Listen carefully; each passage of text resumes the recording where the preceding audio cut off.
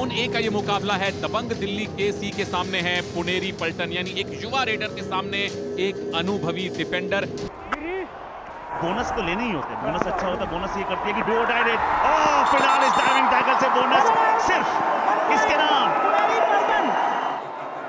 Utility, बड़ा अच्छा आपने नाम लिया और जब यूटिलिटी की बात आती है, राजेश मोंडल का ज़िक्र होता है। राजेश मोंडल मतलब डू डाई स्पेशलिस्ट कहे जाते हैं मुसीबत में।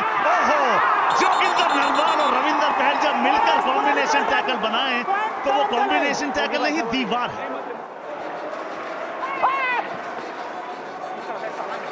दिल्ली जिस चीज़ पर बहुत ज़्यादा डिपेंड करती है बोनस पर उनके लिए फ़िलहाल नहीं है। 126 मतलब कूल काम कंपोज कोई परेशानी लॉबीज का इस्तेमाल। जी हाँ क्या ये तूफानी सुपर रेड है कि नहीं? होनी चाहिए। बेशक तूफानी सुपर रेड चंद्रन रंजीत की एक ही रेड में सारा मामला बराबर कर दिया है रंजीत ने। तीन मेन डिफेंडर बाहर चले गए हैं पुनेरी पल्टन के। और ओवर स्पीडिंग कर गए वहाँ पर संदीप नरवाल। कहाँ पुनेरी पल्टन आगे थे कहाँ दिल्ली ने उनको ऑल आउट दे के लीड बना ली है?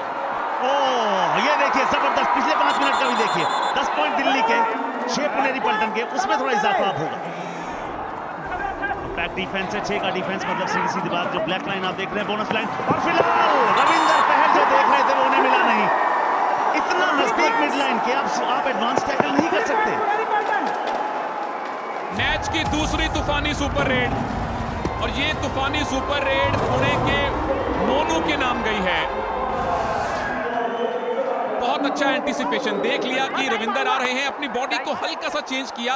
उनकी लाइन ऑफ़ अटैक से थोड़ा सा दाहिने तरफ़ गए एडवांस टैकल से बचे और एक ही रेड में स्कोर बराबर कर दिया।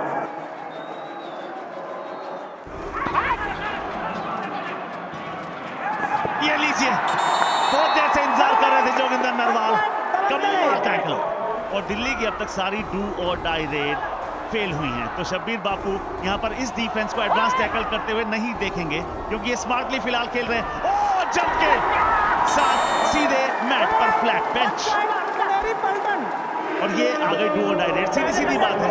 अगर आप पॉइंट लेंगे एज अ रेडर तो आप सफल नहीं लेंगे तो आप बेंच पर जाएँगे दिल्ली के पाँच में से तीन मेन डिफेंडर चार इनफैक्ट डिफेंडर हैं। मिराज, रविंदर, जोगिंदर, विशाल माने। मोनू को डीप उतरना पड़ेगा और शिकार हो गए जोगिंदर नरवाल का। अब ये बाजी है। आ देखें जरा किसमें कितना है दम।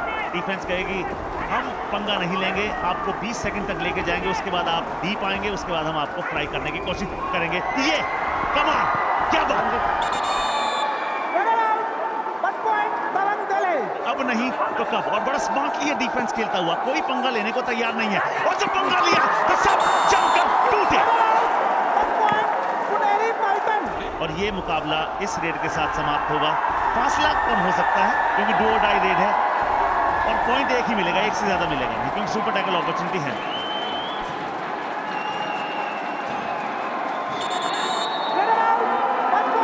आखिरी रेड में जीबी मोरे ने एक पॉइंट ज़रूर तोहफा दिया है।